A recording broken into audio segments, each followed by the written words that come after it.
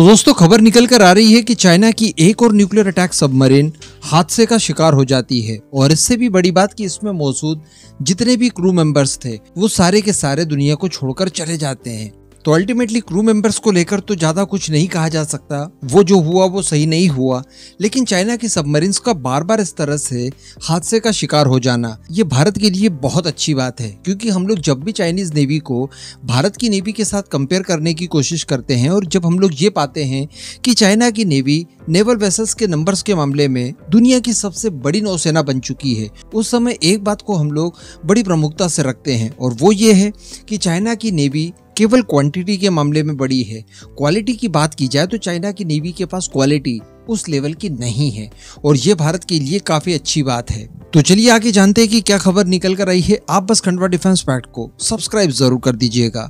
तो दोस्तों देखिए, कुछ साल पहले चाइना की एक सबमरीन थी, जिसे मिंग क्लास सबमरीन कहा जाता था। वैसे तो ये डीजल इलेक्ट्रिक सबमरीन थी, लेकिन ये एक एक्सरसाइज के दौरान गायब हो जाती है और इसके अंदर जितने भी क्रू मेंबर्स थे, वो सारे के सारे मारे जाते हैं। और बताया जाता था कि इसके अंदर जो ऑक्सीजन जनरेट करने के लिए सिस्टम लगा था, वो फेल हो जाता है।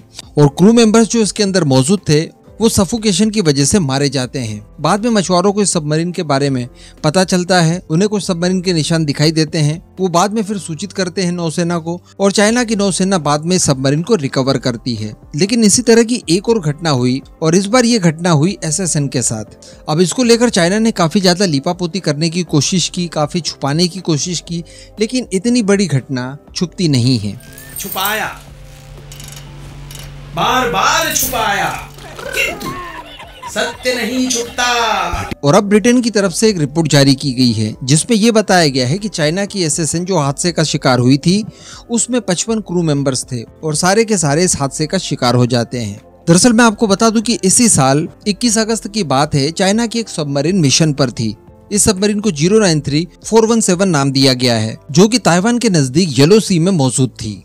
अब इसी को लेकर ब्रिटेन की एक मीडिया डेली मेल की तरफ़ से कुछ जानकारियाँ दी गई है। दरअसल जब चाइना ने इसको लेकर ज़्यादा जानकारियाँ नहीं दी और इस एक्सीडेंट को छुपाने की कोशिश की, उसके बाद डेली मेल के द्वारा इन्वेस्टिगेशन किया गया। तो इन्वेस्टिगेशन में पता ये चलता है कि दरअसल येलो सी में ब्रिटेन के कुछ जहाजों को ये फंसाने की कोशिश कर रही थी और इसके लिए चाइना की सबमरीन द्वारा जो जाल बिछाया जाता है, अंततः उसमें वो खुद ही उलझ जाती है, जिसके लिए चाइना ने कुछ चेन वगैरह और एंकर्स का इस्तेमाल किया था। इन्हीं से टकराकर हादसे का शिकार हो जाती है चाइना की सबमरीन। अब इस बार भी बताया जा रहा है कि कारण कुछ पिछले बार जैसा ही था। जी हाँ दरअसल रिपोर्ट में स्पष्ट रूप से ये कहा गया है कि जो ऑक्सीजन सिस्टम था, वो इस बार भी फेल हो जाता है। और अगेन, जितने भी नौसैनिक उस सबमरीन के अंदर सवार थे, वो सारे के सारे दम घुटने की वजह से मारे जाते हैं। हालाँकि चाइना ने इस घटना से इनकार कर दिया है और इसके पीछे कारण माना जा रहा है कि जो पनडुब्बी हादसे का शिकार हुई है, उसके लिए वो इंटरनेशनली किसी की मदद नहीं चाहते थे और इस वजह से इस बात को दबाने की कोशिश की गई। बताया जा रहा है कि 21 अगस्त को आठ बजकर बारह मिनट पर यह घटना होती है, जिसमें नौ सैनिक मारे जाते हैं। इन पचपन नौ सैनिकों में से 22 अधिकारी थे, सात अधिकारी कैडेट थे, नौ जूनियर अधिकारी थे और सत्रह जो थे वो नाविक थे। और इसी के साथ साथ दावा ये किया जा रहा है कि इन पचपन नौ सैनिक जो मारे गए हैं, इनमें कैप्टन कर्नल जुयोंग पेंग भी शामिल थे। अब वैसे भारत के लिए ये अच्छी बात इसलिए है कि ये जो सबमरीन थी, जिसे टाइप 093 कहा जाता है, ये सबमरीन काफ़ी ज़्यादा एडवांस मानी जाती है। ये पिछले 15 सालों से ही चाइना की नौसेना का हिस्सा बनी है। तीन फीट ये लंबी है टॉर्पीडो से लेस होती है और काफ़ी ज़्यादा एडवांस सबमरीन है, जो कि नॉइस को बिल्कुल न के बराबर क्रिएट करती है। ऐसी परिस्थिति में ये काफ़ी स्टेल्थ टाइप की सबमरीन मानी जाती है। तो अब जब इतनी एडवांस सबमरीन भी अगर इस तरह से हादसे का शिकार हो सकती है तो हम समझ ही सकते हैं कि चाइना के हथियारों की जो गुणवत्ता है, वो कैसी हो सकती है।